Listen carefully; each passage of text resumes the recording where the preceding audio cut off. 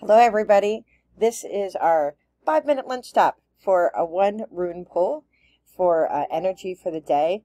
I like to do this in the morning, but uh, my morning started off rough, so there's a lot of busy things happening. So we're going to do it at lunchtime. So I'm going to pick one rune. Um, that's just something to think about throughout the day.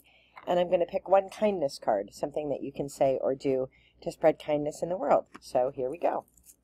So for this, I just reach in the bag, feel around for one that strikes me. This one seems to want to come out.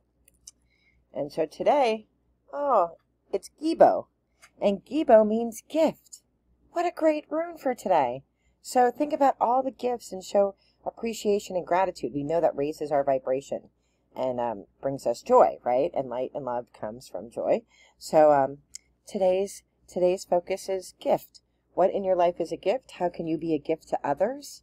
And let's pick a kindness card. So these are kindness cards. I'm just going to shuffle them and see what pops out.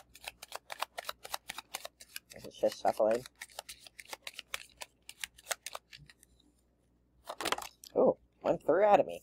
So today, I love your necklace. So find somebody who has a necklace on it and tell them that you love it. So I have a tree and I have a Celtic cross. So I'm going to have to find somebody today to tell them that I love their necklace. All right, so that's your positivity lunch break for today. Be well. Wishing you all the best in light and love. Bye bye.